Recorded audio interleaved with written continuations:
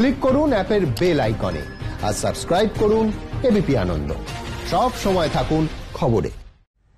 উম্পুন মোকাবিলায় নিয়ে এবার ভিন্ন সুর কলকাতার প্রাক্তন ও বিদায় মেয়রের। একদিনে সাড়ে পাঁচ হাজার গাছ কেটে সরানোর ক্ষমতা নেই দাবি ফিরাদ হাকিমের। সাত দিন আগে থেকে পর্যালোচনা করতে হতো পাল্টা শোভন চট্টোপাধ্যায়। বিদ্যুৎ বিপর্যয় নিয়েও সামনে এসেছে দুজনের মত পার্থক্য রোগী ভেন্টিলেশনে চলে যাবার পর চিকিৎসা করা হচ্ছে।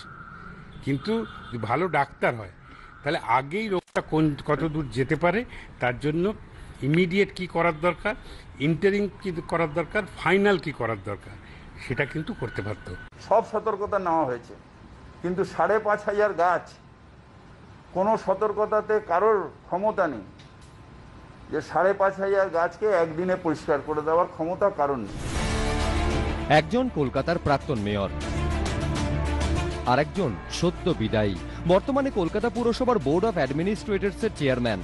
উম্পুন পরবর্তী পরিস্থিতিতে কলকাতাবাসীর দুর্ভোগ নিয়ে এবার বাগযুদ্ধে জড়ালেন দুজন।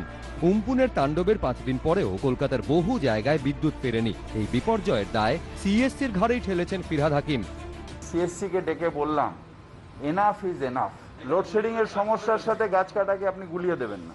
সিএসসিকে আমরা চাপ দিতে পারি, সেটা আমরা করছি। যদিও কলকাতা পুরসভার বোর্ড অফ অ্যাডমিনিস্ট্রেটরসের চেয়ারম্যানের এই যুক্তি মানতে রাজি নন শহরের প্রাক্তন মেয়র। এই ব্যর্থতার দায়িত্ব নির্দিষ্টভাবে পৌর প্রশাসনের যে যিনি চেয়ারম্যান, তিনি নির্দিষ্টভাবে স্বীকার করে নিয়েছেন। তার সাফল্যের দেয় সিএসসির সঙ্গে মিলিয়ে বা অন্য সংস্থার সঙ্গে কাজ করতে গিয়ে তার সঙ্গে মিলিয়ে যখন হয়, তখন সেই সাফল্যটা তো আমরা দাবি করি। তাহলে এই ব্যর্থতার দায় স্বীকার করতে কেন অনীহা? নিশ্চিত কলকাতা কর্পোরেশনের কর্মীদের ওপর আমি অত্যন্ত গর্বিত। কাজ আমি করছি, কলকাতা কর্পোরেশনের কর্মীরা করছে। তাদের এই প্রতিষ্ঠানের পাঠ হতে পেরে আমি নিজেকে গর্ব অনুভব করছি। উম্পুনের পর দ্রুত পরিস্থিতি স্বাভাবিক করা গেল না কেন? ভেঙে পড়া গাছ দ্রুত সরিয়ে বিদ্যুৎ পেরানো গেল না কেন? সাধারণ মানুষ এই প্রশ্ন তুলে পুরসভার সঙ্গে সিএসসির সমন্বয়ের অভাবকেই দায়ী করছেন, যদিও ফিরহাদ হাকিম এই অভিযোগ মানতে নারাজ। আমি ওনাকে ছোট করতে চাই না। পার্ট টাইম মেয়র আর ফুল টাইম মেয়রের মধ্যে তফাৎ আছে। আপনারা নিজেরাও জানেন যে কীভাবে আমি দৌড়েছি। যদিও তার পূর্বসূরি এই যুক্তি মানতে নারাজ।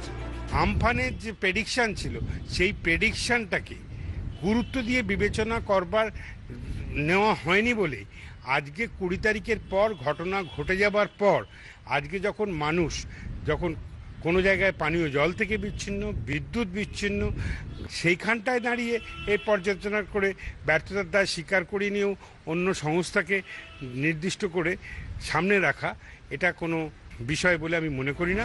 তৃণমূল অবশ্য শোভন চট্টোপাধ্যায়ের মন্তব্যে গুরুত্ব দিতে নারাজ। এটা আমি এই ঝগড়ার মধ্যে যাব না। শোভন কি বলেছে রামবাবু কি বলছে শ্যামবাবু কি বলছে?